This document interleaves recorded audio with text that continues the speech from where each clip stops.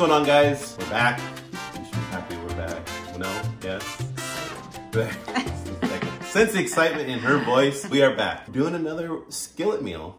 Skillet meal? Are we calling them skillet meals? What Sure. calling them? Why Sure. not? Skillet meals. We're gonna do some mustard, mustard marinated chicken thighs with some rice. We're gonna do it all in the skillet, one pot in the oven. It's gonna be super easy. Let's go through some ingredients. We got chicken thighs, bone in. Now I was asked the other day by someone if you can use boneless thighs because they have a child, a younger child, and they wanted to know if that would work. It will. I prefer bone in. I feel like the bone kind of when you're putting it in the oven with the rice and everything, it gives it kind of a creamier flavor, more depth of flavor, we could say. But you can use boneless. I would just not do boneless, skinless. I would leave the skin. Okay, back to the ingredients. We got rice, of course, long grain rice. We got some white wine vinegar, two types of mustard here. I have Dijon, and then I have a stone ground. I also might throw in some spicy brown because the girl behind the camera likes her stuff a little spicy. So I might throw some spicy brown in there as well. In this jar or this ramekin, I have paprika, garlic powder, onion powder, about a teaspoon and a half of each. We have some chicken stock, oil, and of course the beloved salt and pepper. So let's get started.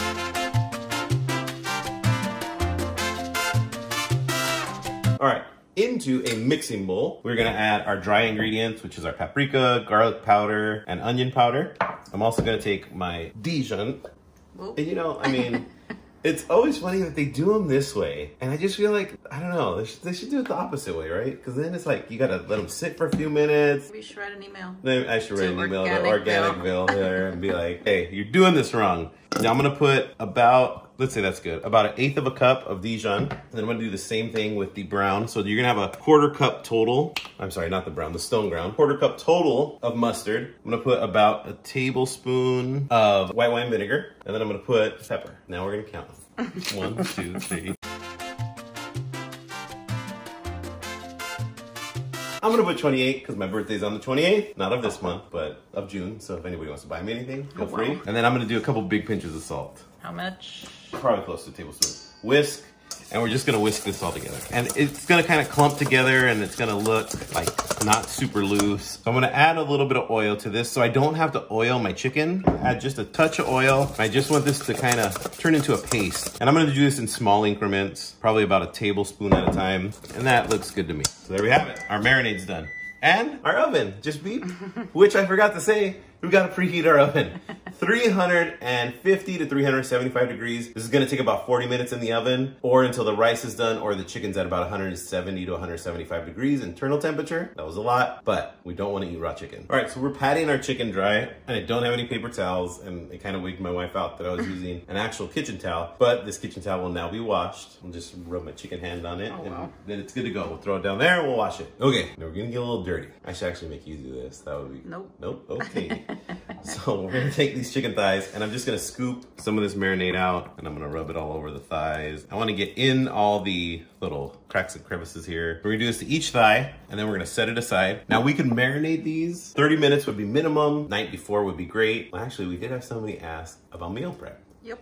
I don't know. I hate meal prepping. I gotta be really honest. I get it. It helps people and it's great, but we might do that soon. I don't know. So we're over at the stove. We want to crisp these up a little. So what I'm gonna do is I'm gonna take my thighs and I'm gonna lay them skin side down. I don't want to crowd my pan too much. I think I get all four in there.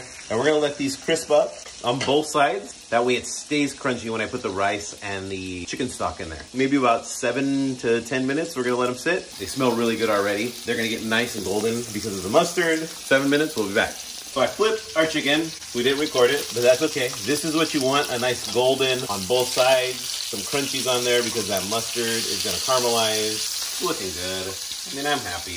So I'm gonna take a cup of rice. So I'm gonna put my rice in there, and then I'm gonna use my chicken stock. Now, my wife made me put this on the cutting board, but this isn't what I'm gonna use. I made chicken stock the other day. She just said that this looked gross because it has floating chicken pieces in it, but I'm gonna use it anyways. So it's not gross. Well, I mean, it, It, does just have didn't photograph well. it does have floating chicken pieces in it, which It does. it's a little gelatinous, so maybe it's a little gross. We're gonna bring that to a boil, which it's doing pretty good already, and then we're gonna stick it in our oven. I'm gonna check it in about 25 minutes, not for the chicken doneness, but just to make sure that we're not running out of liquid for the rice. Put it in the oven, 375, 20 minutes, check it. Actually, we're back, I'm gonna put a little more rice. So I'm gonna put another cup. So now I have two cups of rice in there, and I'm just gonna wiggle this around so the rice gets all in there. And I just wanna make sure the rice is covered with liquid, which it is. We're gonna bring it to a boil once again, and then stick it in the oven. Same thing, I'm still gonna check it in 20 minutes. 20 minutes has passed and our liquid is almost all gone. So I'm just gonna add more liquid, cover the rice again, and I'll check it again in 20 minutes. And the next 20 minutes, we should be close to being done. Check your liquid because your rice will burn. I smelled it and I was like, oh, the rice is burning. So it might have been like 17 minutes, but close enough, add more liquid. It was probably more like 50 minutes. And I also wanna say, 375 is too high.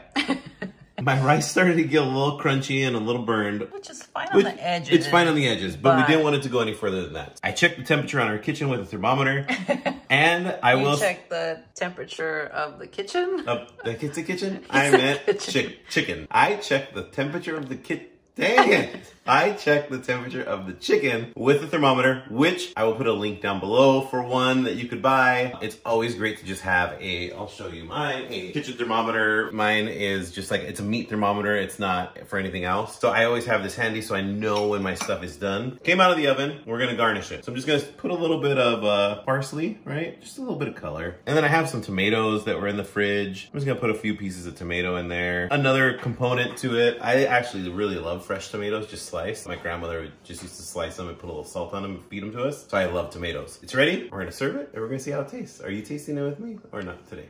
Um, I'll taste it behind the camera. Okay, well, that means she doesn't want to take off her sweatshirt and put on clothes or do her makeup. So I will taste with you behind the camera. Sounds good. I'm gonna take a scoop of rice here, and one of these thighs. We're gonna set that in there as well. And there we have it, our mustard chicken with some rice. We're gonna taste it. That's my dog panting in the background because she thinks our house is extremely hot right now because the oven was on. She's a little bit dramatic.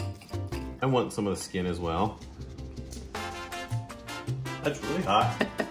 But that chicken's really good. It's super moist. That mustard kind of gives it that tang. The rice is cooked well. The skillet rice has become my new love. I actually am really enjoying that I can just throw it in the oven and it's done. I'm gonna keep eating it, but I'm gonna give you a piece first. What do you think? Delicious.